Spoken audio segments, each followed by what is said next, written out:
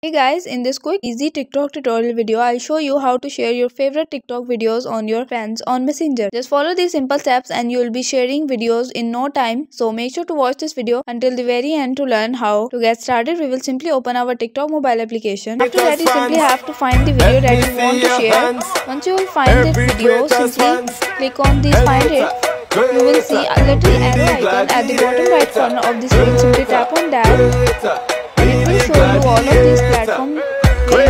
this video. So as you guys can see that there is also a messenger option here. So simply tap on that.